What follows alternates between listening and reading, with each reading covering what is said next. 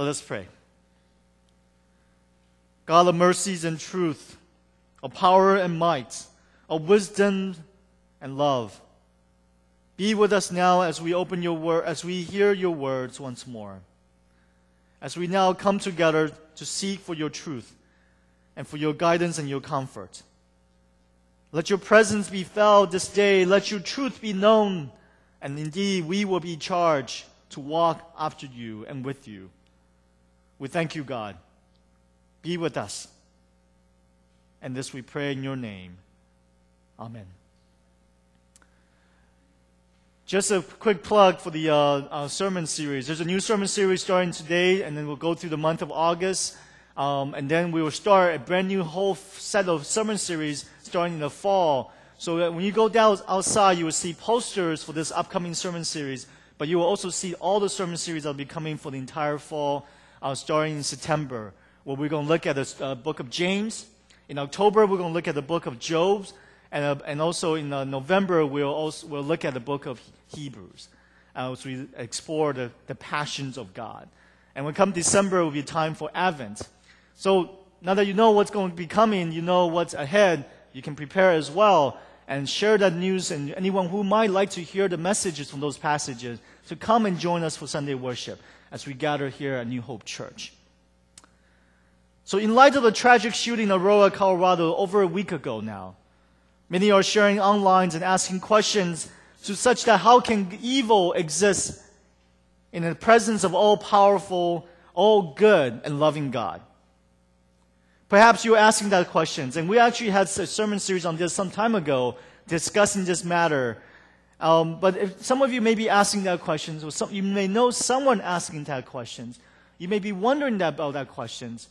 So I thought maybe it would be really appropriate for us to come together in worship today to think about that as we began this series of sermons, to talk about where is really God is presence in our lives.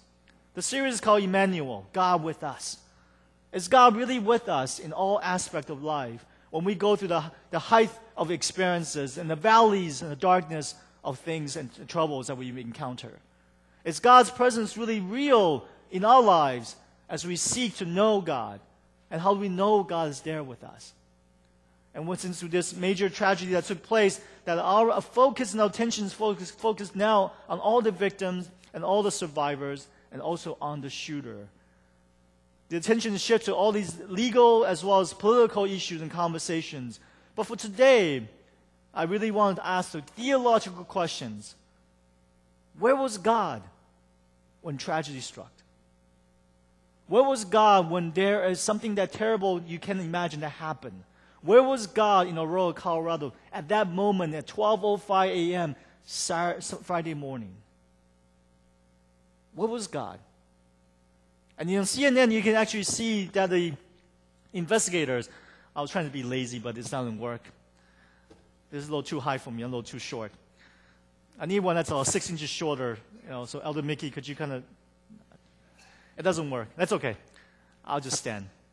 Um, I'm making my, uh, my, my team work a lot more. So if you, anyone want to help him, that's fine too. Just kidding. It's okay, Changsu. Um, I lost my place here for a second, trying to be funny. As I was talking to one of my friends, asking the question, a theological question, where was God? And on CNN, you actually can see that the investigators had drafted a computer simulations where shots were fired. And you can actually see the seedings and where people were leaving based on story accounts. And it's unimaginable in my mind. So our, mind, our question today is asking that theological questions, that spiritual questions. Where was God in Aurora that night? And where was God in your life when things are not going the way you have hope and plans and desire? And where was God when there's death, tragedies, and loss? and devastations. One of my friends online, I was talking to a colleague as we were just discussing this. It's like I, we can't imagine there's another shooting in Colorado. The response was, wasn't, wasn't it Columbine enough? Some of you may not be old enough to remember Columbine, but Columbine was one of the major high school shootings uh, just 20 years ago when a high school student opened fire, two students opened fire in the hallway of the high school and killing many in that school. But instead of just focusing on that event in Aurora, I want to kind of lift us up to ask the bigger questions. What does it mean when God, when there's tremendous tragedy that struck unexpected? And in light of that, let's also look at the events of human histories and larger events of tragedy that are taking place around. So in this sermon today, I would like to draw two stories. One from Dr. King's sermons on the eulogy for the four girls who was killed at the church bombing in Alabama, as well as Elie Wiesel's writing the book called The Night. How many of you guys read The Night? Raise your hand if you read the book Night. Really? I don't see many hands. Many you guys haven't read the book. You know what the book t- it's about, by the way? Anybody? The book Nights, written by Elie Wiesel as a Holocaust survivor. As a young person, he, uh, he endured the entire Holocaust in concentration camp under Nazi Germany, and he wrote about God, his experiences, that in the darkness of night, the brightest of day comes in the faith of God. And we'll talk about that in a bit. But I want to tell you first about the story that happens in Birmingham, Alabama. It's September 15, 1963. It was a time when racially motivated terrorism was, was around all the time. Four girls were murdered at the church on that Sunday. In the end, in 1960s, there's the civil rights movement. That event of that bombing will be the pivotal moment that propelled the Civil Rights Act of 1964 to pass. Because this event happened the, year before. And prior to that movement, the 16th Street Baptist Church was the, in a way, the unofficial headquarters for many civil rights movement conversations. Dr. King, Ralph, um, David Abernathy, and many other leaders met together with all these southern coalitions of Christian leaders. Civil rights movement was a Christian movement to bring the goodness of God in light of the difficulty of racially charged world. They discussed all these matters at that church. But early Sunday morning, four members of United Klans of America, the Ku Klux Klan, that's part of that in Alabama, planted a box of dynamite at the lower part of the step to entrance to the church. At 22, at 10:22 a.m., 26 children were walking up those steps, going to church as every Sunday they do. And uh, of all the sermons, that's titled the sermon that day is called was called "The Love That Forgives." The irony of that sermon, the love that forgets. At, 22, at 10:22 a.m., the bomb went off and instantly killed four girls, aged from 14 to 11, and injured 22 other children and adults in that explosion. The explosion will blow a hole in the church rear walls, destroy entire back steps, and once, but all but one stained glass window. This is one of the biggest Baptist church in Alabama. So it's covered all the way around with stained glass window. That explosion would, would destroy all but one. And the window was the picture of Jesus leading a group of children. The irony of that event.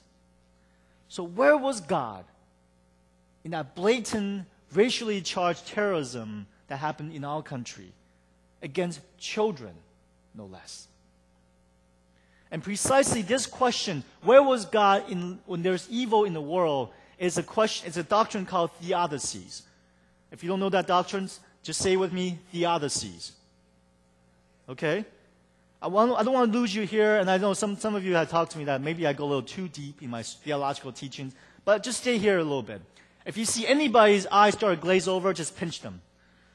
And, uh, and wives, if you see a husband start dozing off, just elbow them.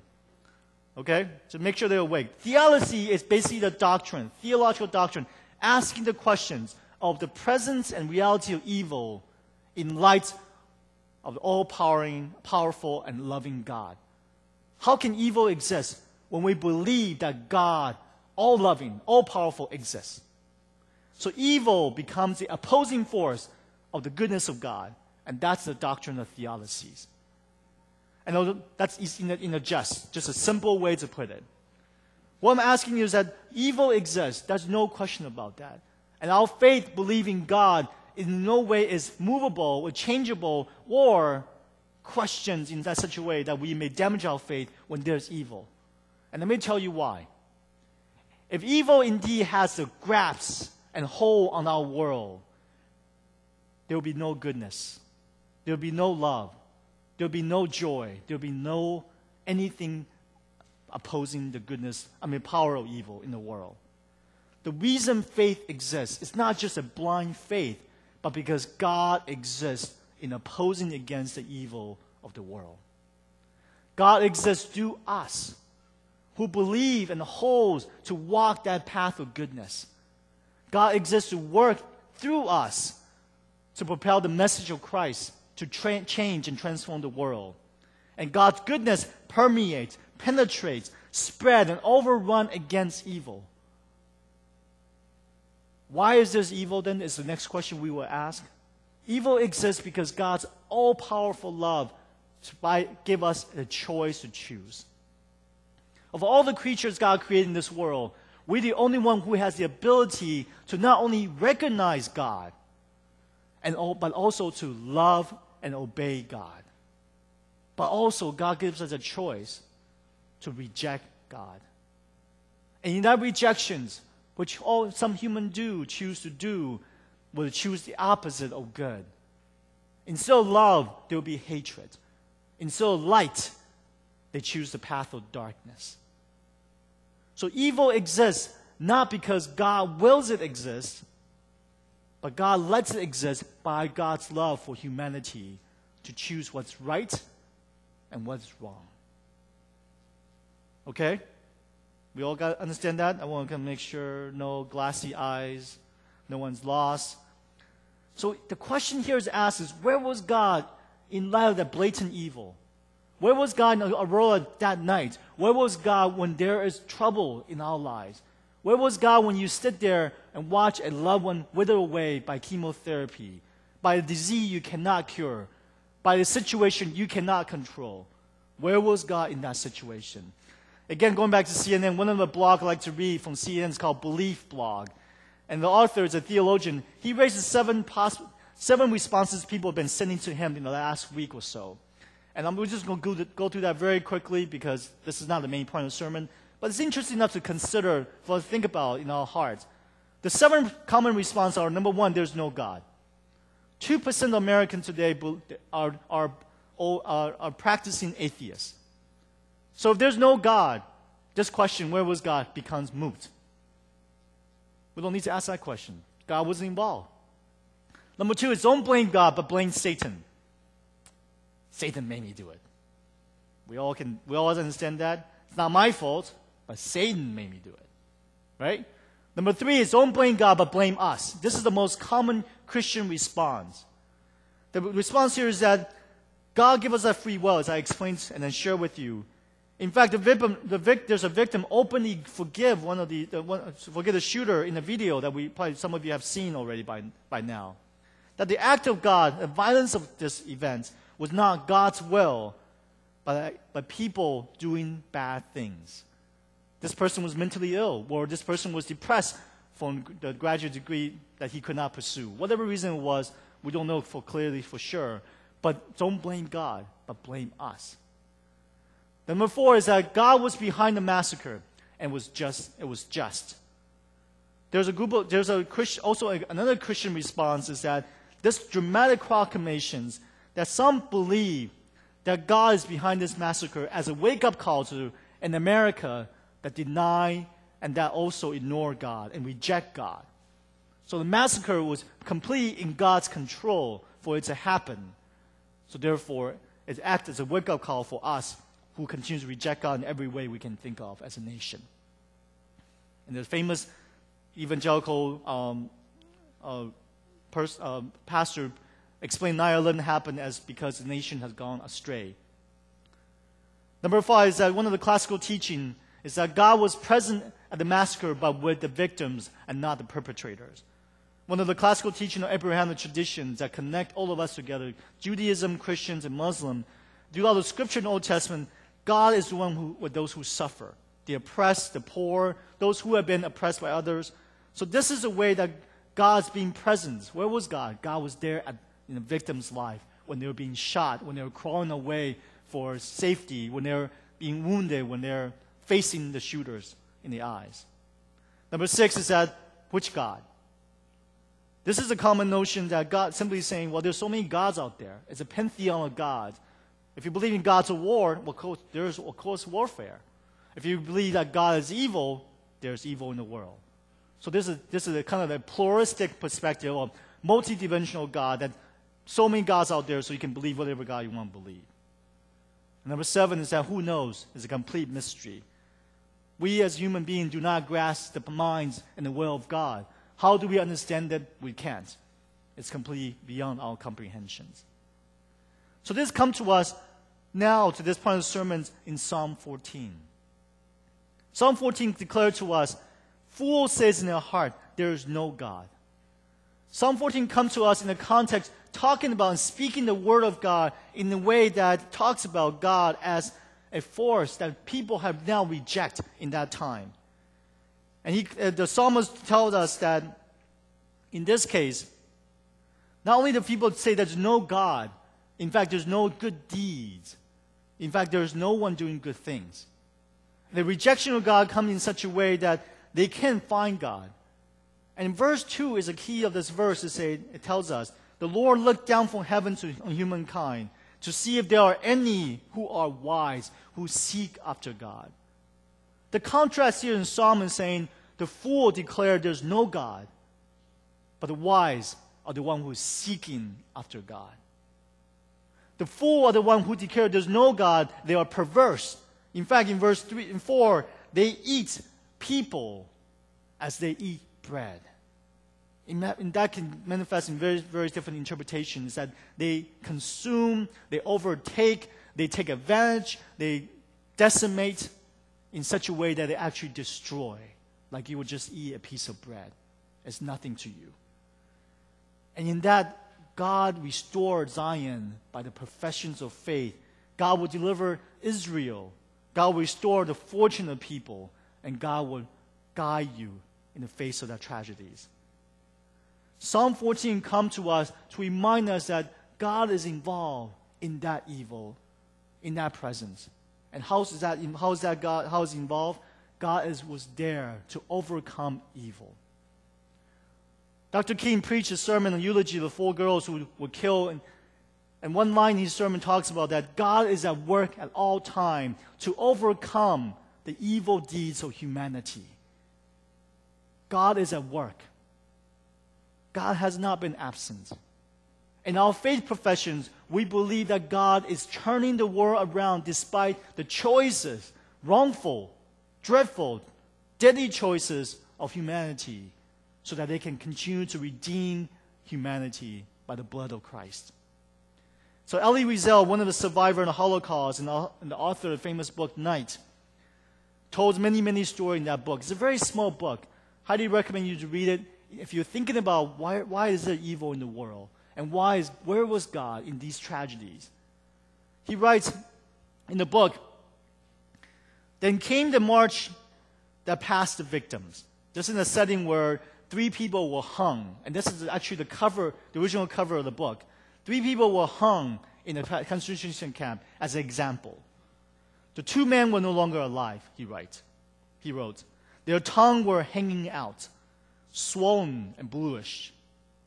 But the third rope was still moving.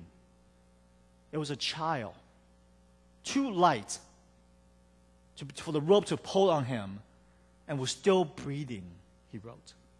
So he remained more for more than half an hour, lingering between life and death, and withering before all of our eyes. The entire camp were forced to gather around that entire process to watch these three people killed by the soldiers. And we were forced to look at him at close range. He was still alive when I passed him. His tongue was still red. His eye has not extinguished. Behind me, I heard the same man asking, For God's sake, where is God? And from within me, I heard a voice answer, Where he is, there he is, lingering, hanging from the gallows. Elie Wiesel and the psalmist wants to t- declare to us God is in his presence at all time, even un- unimaginable cruelty. In the face of enemy that we can't see what we do face, God was there in that child's life. From the, to the moment he finally passed. Psalms 14, the fool declared there is no God. The wise are the one who seek after God. Ephesians chapter 3, verse 14, 21, today's passage, is a prayer for strength, a prayer for wisdom, a prayer for insight. It tells us that life isn't going, going to be smooth, it's going to be a small, uh, quite a nice sailing with no trouble whatsoever. If, that's the case, then what kind of life will we have? Just our leisures, that we do nothing but just for good things for ourselves? Adversity, as I shared in another sermon, presented opportunity for us to grow our faith. If there isn't struggle, our faith doesn't have chance to grow. But because there's faith, because there's adversity within the faith that we have, we can, uh, we can grow and deepen our perspective in the way we see things. For the athlete's life, adversity points as a goal for you to achieve.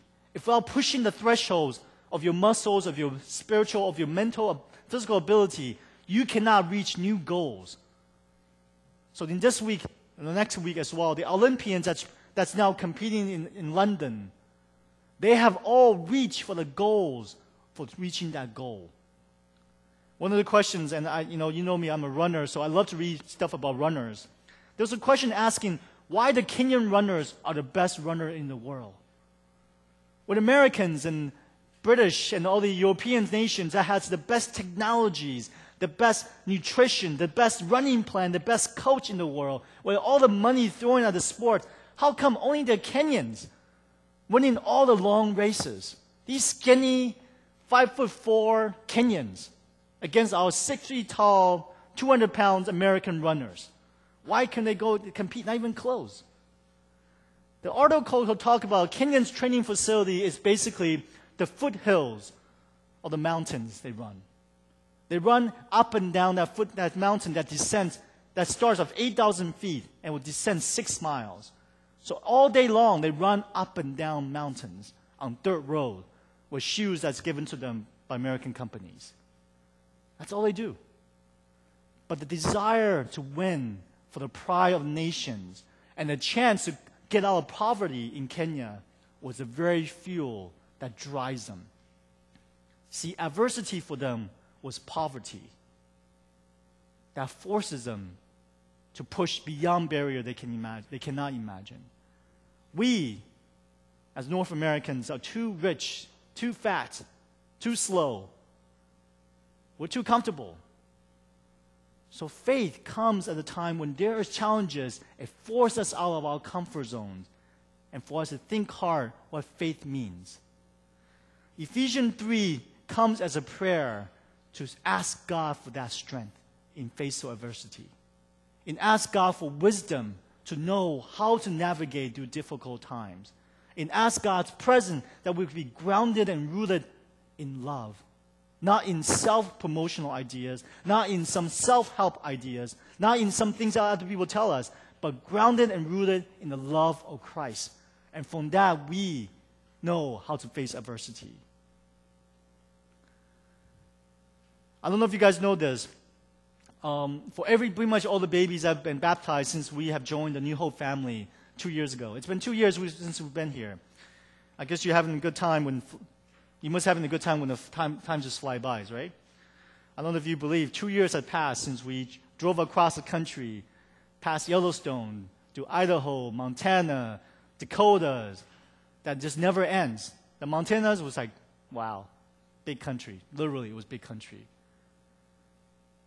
And the babies that since we've been here, have, those have been baptized, all receive a baptism book. You've seen that before. It's a little book, white book. And the goal of that purpose was just to help the children remember their baptism when they grow up. Because in baptism, God claims us. God seals us in God's love. God puts that stamp of approval on all of us and claim us as one of God's own in baptism.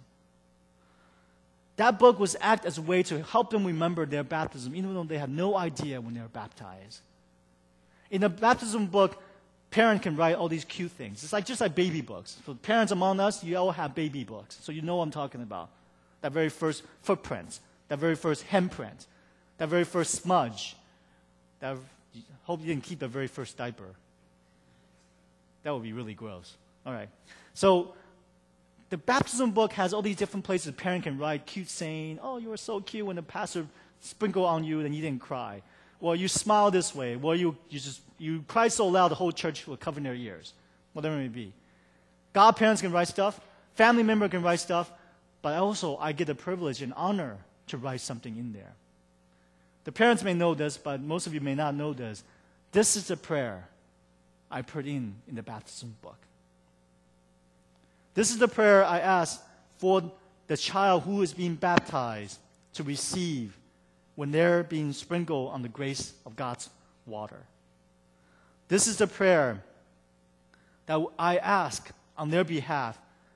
That when Paul prayed this prayer for the Ephesian church, as a new fledgling church growing, that the riches of God's glory would be known to the Ephesians.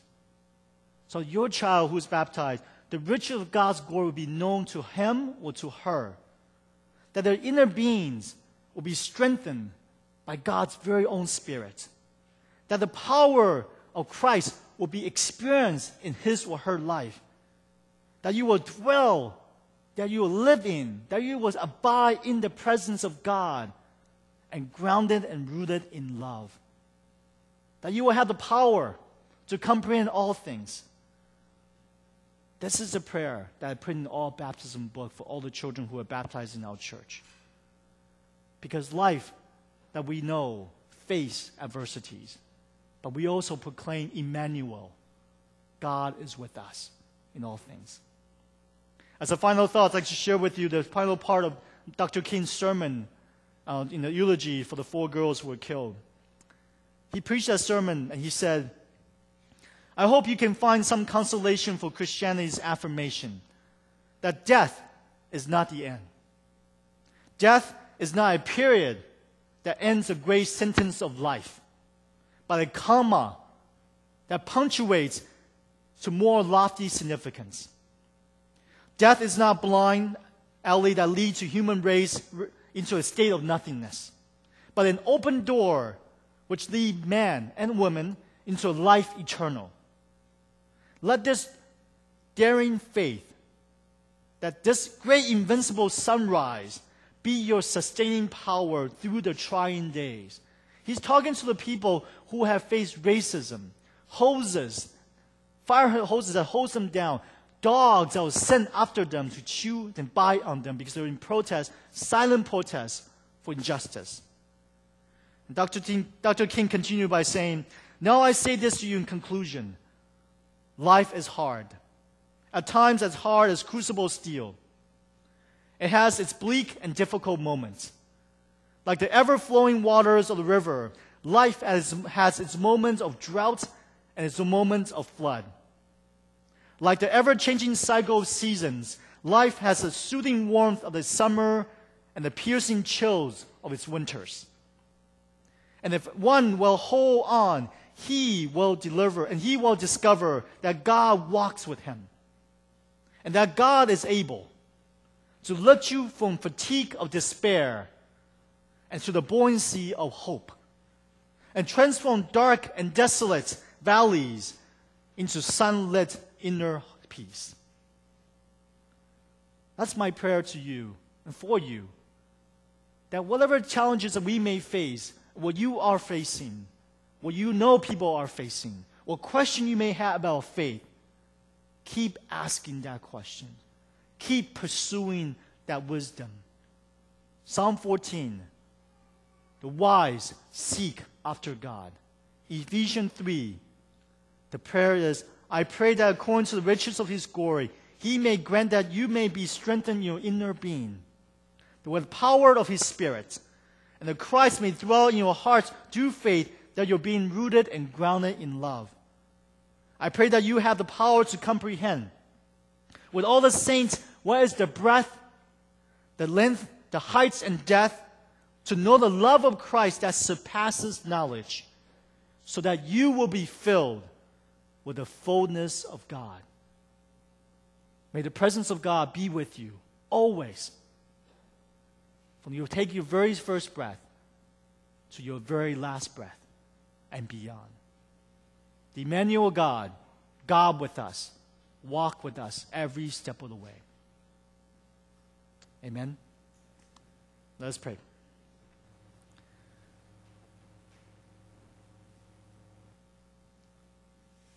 Lord, we are grateful and thankful that we are called upon you as our Emmanuel God, who is indeed present and with us, especially in the moments that we do not know, and the moments of despair, and moments of sadness, and moments of brokenness. In those moments, especially when we need you the most, even when we do not profess, and even to the point of rejections, we are grateful that you have been there for us. You were there when we took our very first breath, and you will be there through our entire life when we take our very last breath. And we give you thanks for our ever present God. But lead us, O oh God, not to a life that's full of comfort and selfish desire, but shape our lives and motivate us to bring transformations in our inner beings so that we can trans- bring transformations of love and joy to the world so full of brokenness. We ask, oh God, that you give us that power and that faithfulness and that commitment. That we will be your instrument for that very purpose. And be with our church and our community. Let this be a refuge and sanctuary always and a charging station for those saints who desire to seek after you and to be renewed and to go out once more.